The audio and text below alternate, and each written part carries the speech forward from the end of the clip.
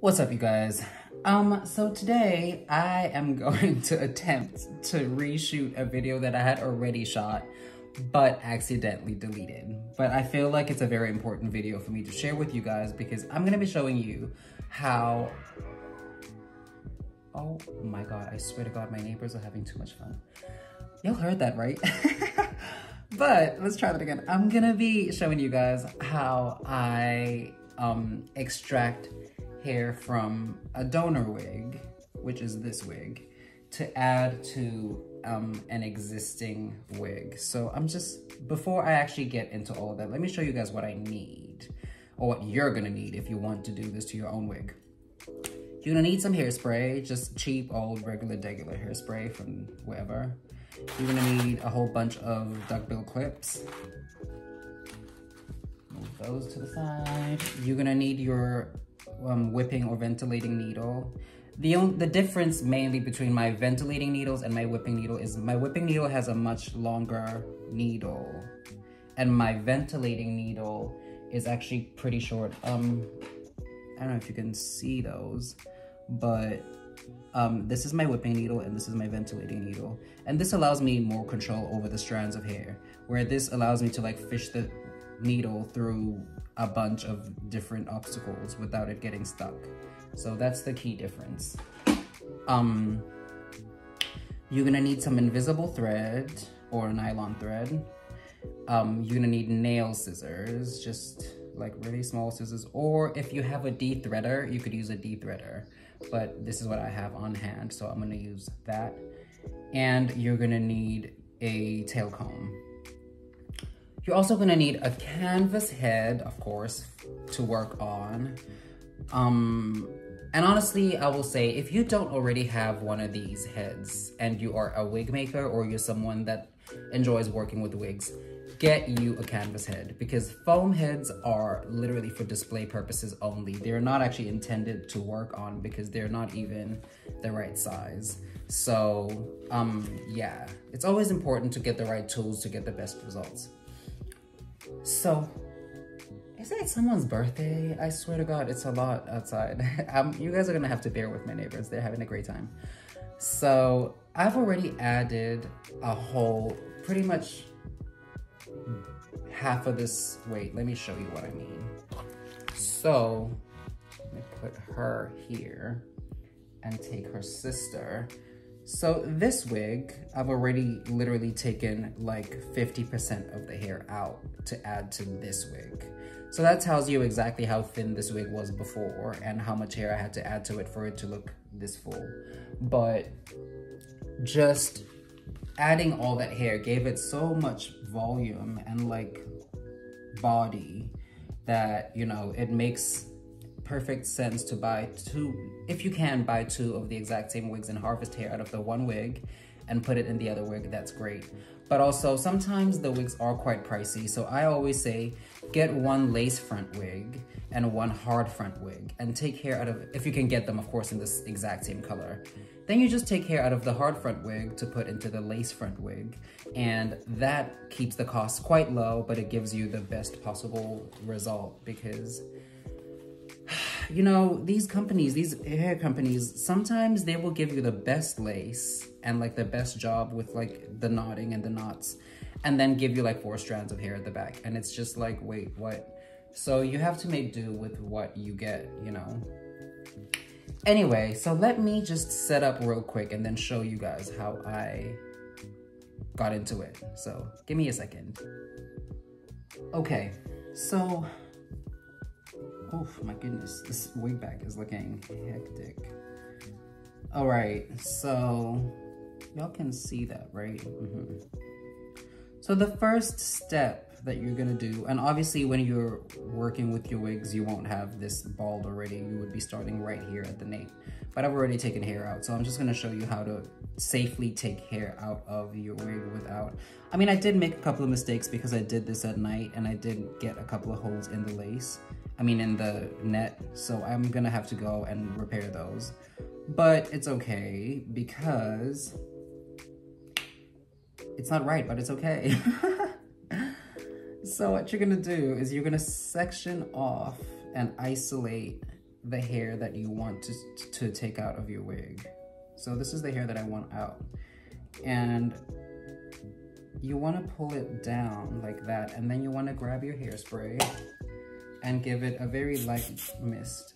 And what that'll do is it'll keep all the fuzzy bits at bay because I hate when I start doing this and I end up cutting so much hair because it just happens to be in the way. So always make sure that you kind of give your hair a little bit of texture. And that way when you're working with it, it doesn't fly around. Like that. And then you're just gonna grab your little duckbill clips and you're gonna grab all the hair that you're not um, pulling out and just sort of section it off like that so that this is free to move around without getting tangled with this section. And then what you're gonna do is you're gonna, now with this you have to be very careful. Don't make the same mistakes I did and make a bunch of holes in your wig cap because now I have to go back and fix them.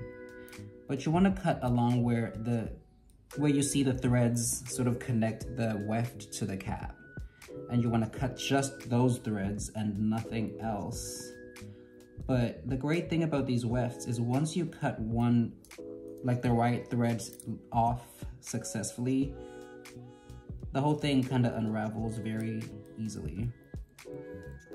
But it's just about getting that initial cut right. See, once you let that part go, it just literally comes off so easy. So I'm just gonna keep going until I'm happy with, you wanna keep going actually until you're done on the other side. But because I've already done this wig and it doesn't actually need all that much more volume, and this is literally just to show you guys my method. Oh, well, would you look at that? The track spoke for its own self.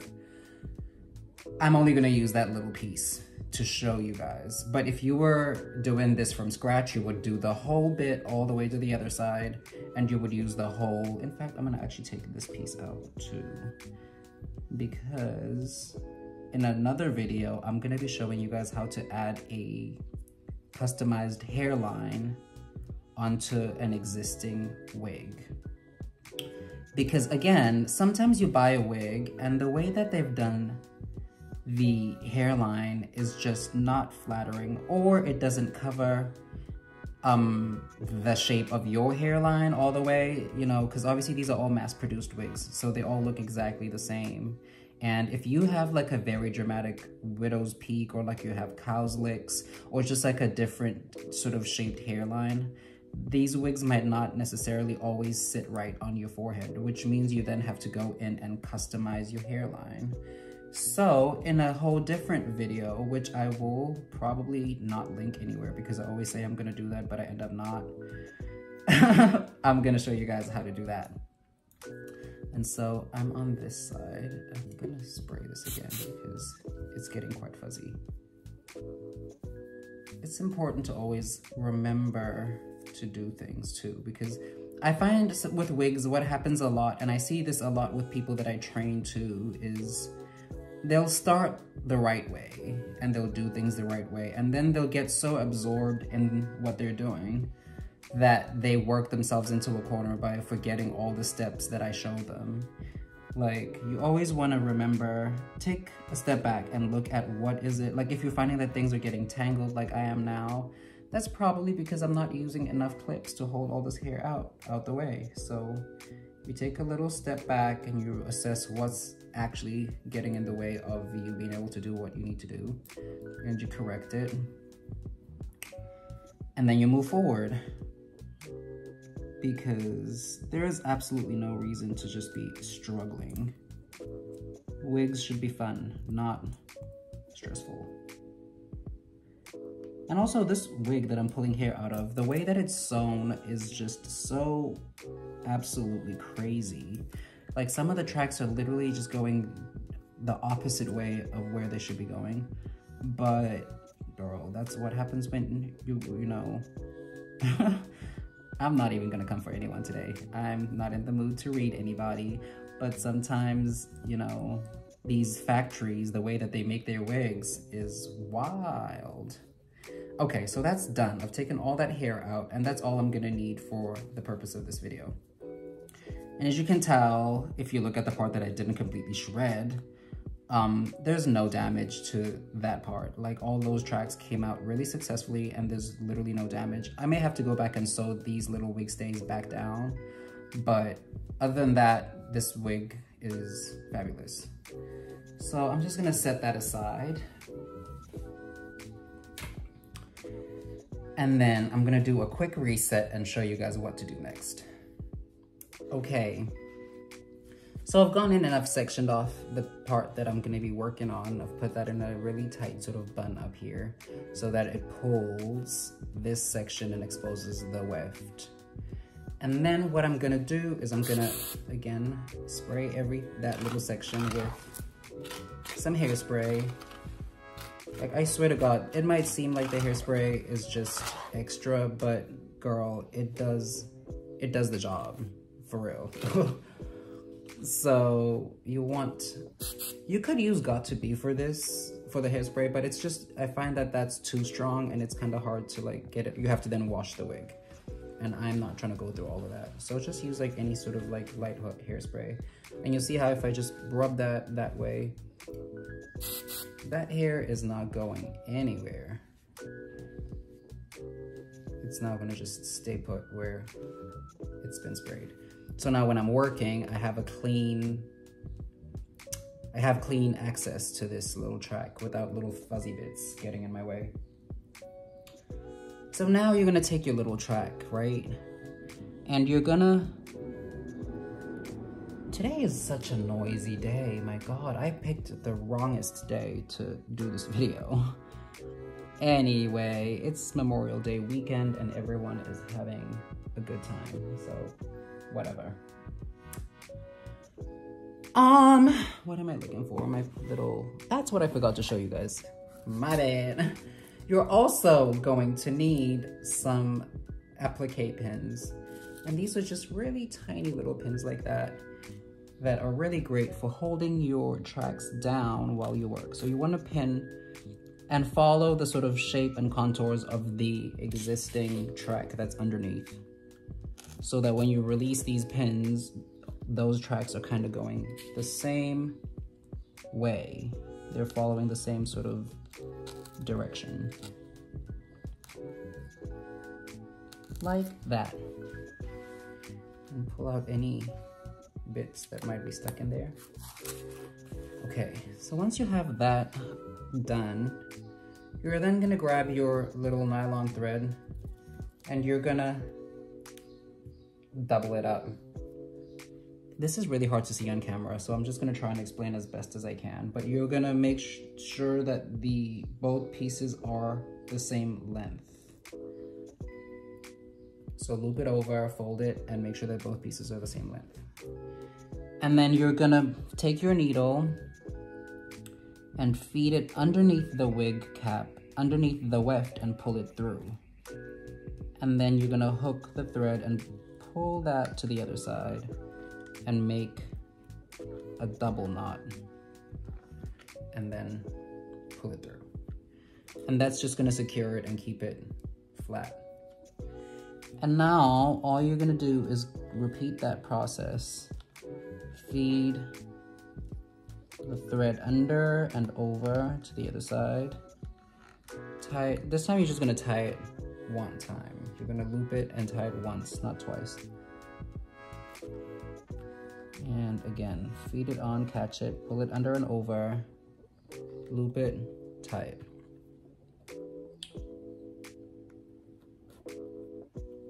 And this is why it's important too for this needle to be quite long. Like I do sometimes use this very same needle for ventilating, but I pretty much reserve this needle for whipping and for doing this type of thing because imagine if this needle was really short, I wouldn't be able to get underneath very far before I would run out of slack. So you want this to be quite long. And also, I know that some wig makers don't tie their thread off every time they loop it around the, the weft. And you can do it like that, but the only problem is if this thread were to break and you didn't have a knot at every stitch, it would the whole thing would literally just unravel and come out and you would have to repair this wig pretty much immediately. But because every little stitch is reinforced in my stitches, if something were to break, it probably would not affect the track at all. It probably wouldn't even affect any, it would just stay there. Like that little small section would come undone, but it would stay in place, you know? So even though it does add like a couple of minutes to your overall work time, it's worth it to just invest this labor now so you don't have to do any repairs later. Anyway, I'm gonna let you guys keep watching and I'm gonna be quiet.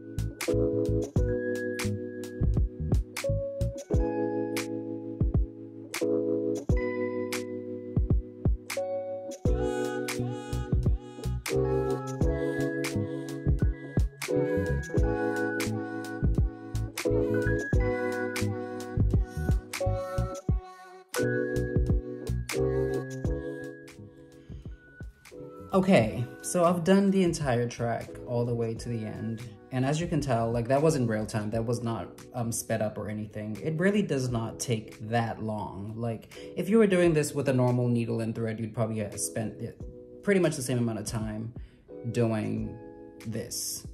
But the only difference is when you do it this way, you get such a perfect stitch. Like that is the track that I just sewed in and it's perfectly fused to the track underneath it. Like they're literally basically the same track now. and you would not get that same result had you used a needle and thread. Like you would probably get a pretty decent result, but this is just so seamless and perfect that I would much rather do it this way. And then once you get to the end of your stitch, your row or whatever you want to call it, you want to do a double. So you want to pull your thread through, under and over, and you want to tie it off once, tie it off twice, and maybe even a third time because why not? and then you want to press it down and really sort of tug at it and make sure that it's nice and tight. And then what I do just to make it extra secure is I then just tie that off like this, the two threads that I have here. I tie them off and that just makes it super secure so that God forbid anything did happen, that little stitch would never come out. Because remember, these wigs are still gonna get teased, they're gonna get styled, they're gonna get washed, so much is gonna happen to them that you wanna always make sure that your, your stitches are just so, so, so tight and like super secure. So now you can go in and pull out all your little pins and I'm gonna show you guys just what I mean. Like, see how you can pull that up? Like this, the track isn't super like hard and flat and like you can pull it up, you can do whatever. Like these two, these are two tracks that have now been sort of combined into one seamless track. So yeah, that's pretty much how I did that. And obviously you would then continue doing that on and on all over your wig until you're happy with the volume. But I hope that that made sense and I hope that it helped you guys somewhat with your wig journeys. Um, yeah, if you liked that video, remember to share it with your friends and, you know, do the good things. Like it, share it, do what you need to do. Thank you so much for watching.